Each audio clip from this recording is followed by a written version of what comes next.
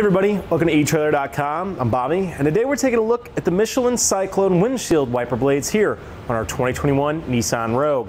Now, if you're starting to have trouble with your windshield wiper blades not doing a good job of clearing off any of that rain or debris, this can be a great simple solution to start getting us back on the road.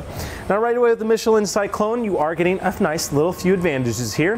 One big thing I like about it is you are getting your entirety of your blade covered by this nice little rubber cover.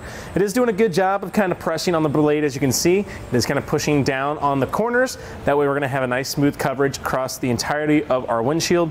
And one thing I like about that cover as well too, it's gonna prevent any kind of like debris from getting the inside of this assembly, whether that be like snow, ice, or just kind of bug guts or you know leaves or anything like that. I do like how it is completely sealed, not gonna have anything actually get in the way.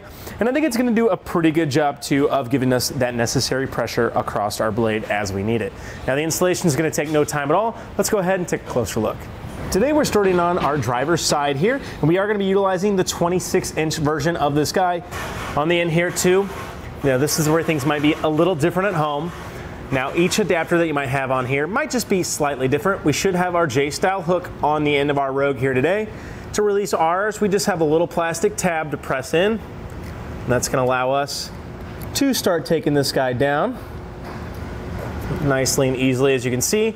All I had to do was put press in a little plastic tab on the inside of that just to release it. Things might just be a little different if somebody's already gone ahead and added a different blade to our Rogue. And to insert ours, we just simply take our J-style adapter here. You can see it's gonna wanna be fitting in around that kind of hinge there. And all I wanna do is simply press this up and into it.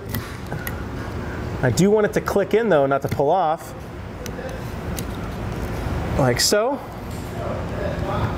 we shouldn't have too much here. Now on the back end, I can see that that tab's not really engaging.